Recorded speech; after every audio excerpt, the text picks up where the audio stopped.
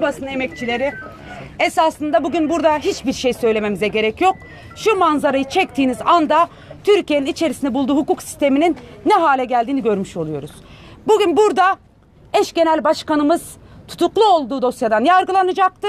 Ancak bir cezaevinin içerisinde bu yargılanmaya yap, yapılmak istendi. Eş genel başkanımız Sayın Figen Yüksekdağ bunu reddettiği için buraya gelmedi. Ama buraya sabahtan beri gelen herkes bin türlü hukuksuzlukla karşı karşıya kalarak bu alana kadar geldiler. Bakın bugün burada en doğal hakkımız olan toplanma ve açıklama yapma hakkımız bile elimizden alınıyor. Sadece vekil yapabilir, kitle yanında görünemez. Biz bunun manasını çok iyi biliyoruz. Biz bu duruşmanın niye buraya alındığını da biliyoruz. Biz arkamızda niye kitlenin durmasına izin verilmediğini de biliyoruz.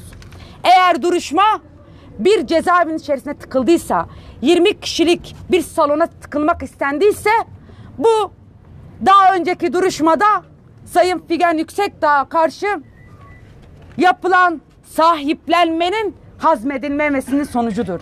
Eğer bugün biz burada açıklama yaparken arkamızda kitlenin olmasına izin verilmiyorsa bu bizim yanımızda destek olanların kamuoyu tarafından görülmemesi için bir baskı unsurudur.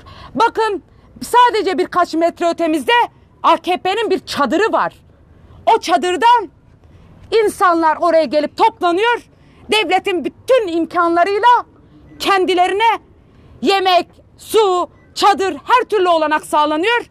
O iktidar olduğu için iktidarın yanında duranlar oraya gittiği için ama bizler muhalif olduğumuz için HDP kimliğini taşıdığımız için bırakın bir yerde bir çadır açmayı, bırakın bir açıklama yapmayı buraya gelişimiz bile adım adım engellendi. Buna da kendilerine hukuk devleti diyen bir sistem içerisinde yapıyoruz.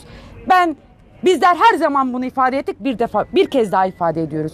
Türkiye artık hukuk devleti olma vasfını çoktan yitirmiştir. Bir defa duruşmaların aleni olacağını ben söylemiyorum. Biz HDP'liler söylemiyoruz. Burada o meclis çatısı altında çıkarılan kanunlarda söyleniyor. Duruşmalar aleni yapılır. Halka açıktır. Böyle bir cezaevi kampüsünün içerisinde 20 kişilik bir salonda bir duruşma yürütülemez. Eğer yürütülecekse bununla ilgili karar alınır ve hangi durumlarda bu kararın alınacağı da nettir. Var mı mahkemenin böyle bir kararı? Yok. Ama biliyoruz ki bir talimat var.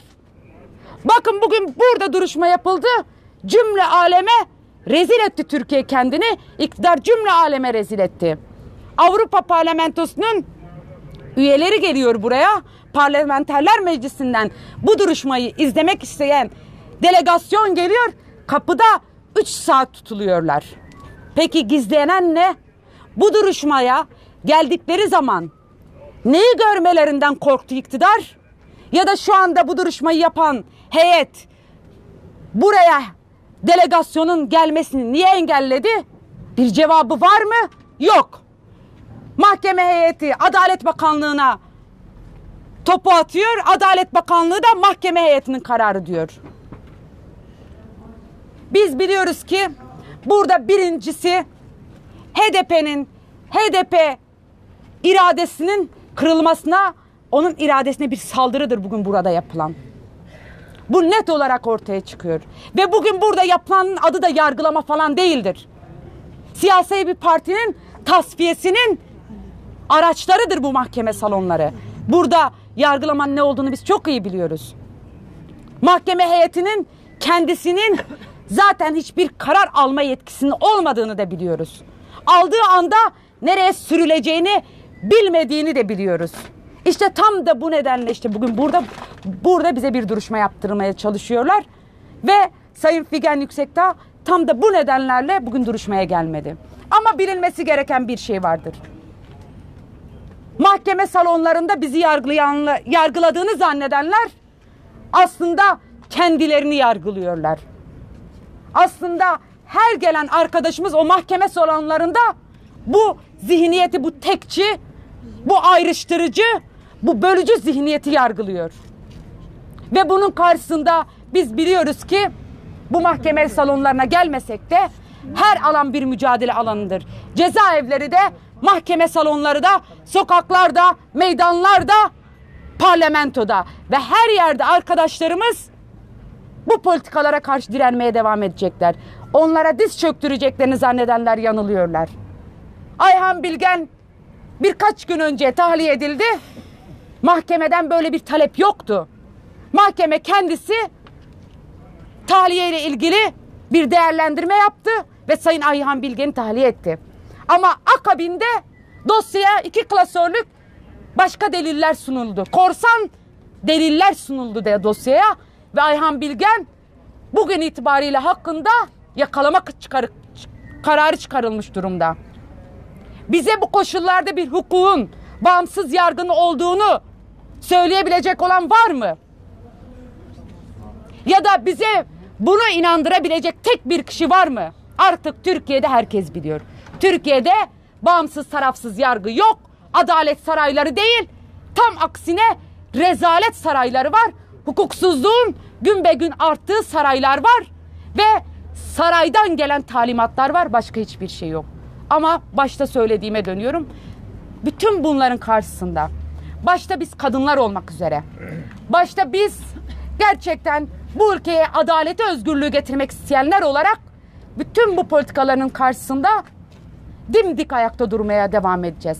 Sayın Figen Yüksekdağ'ın söylediği gibi her yerde zulmün gözünün içine bakmaya devam edeceğiz. O zulümkarlar yaptıklarından vazgeçip adım geri adım attıncaya kadar bu mücadele her alanda devam edecek diyorum.